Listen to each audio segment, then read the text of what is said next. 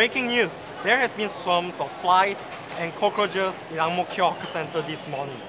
Store owners have attributed this migration to patrons not returning their trays, resulting in unwanted food left to attract all the insects. Let us now move into the scene to see what's going on.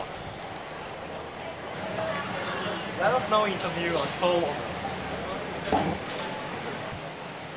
Hey uncle, can we interview you? Yeah, sure. Come visit the best store at Block 724. Uh, uncle, I came to ask about the insects, not the stores. Aiyo, that one ah. I tell you, there will always be insects at this hawker center because people are too lazy to return their trays. These insects come here and eat all the unfinished food. Cleaners are also so busy that they cannot return all our trays. Back in my time, ah, I tell you. Alright, this is what the store owners have to say about the insects. It truly seems like the root cause is the patrons not returning the trays. It was to be so clean. Hey, you got listen to me or not? Uh, let us now hear what the cleaners have to say.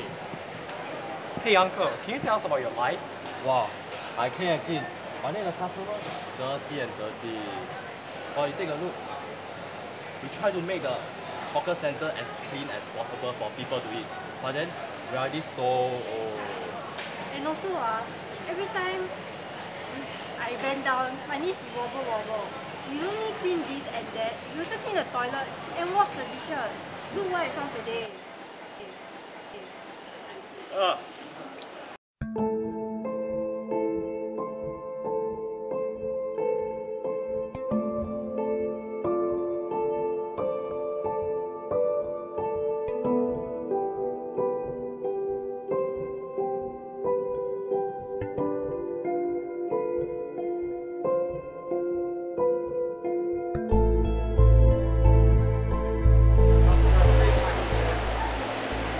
Let's go.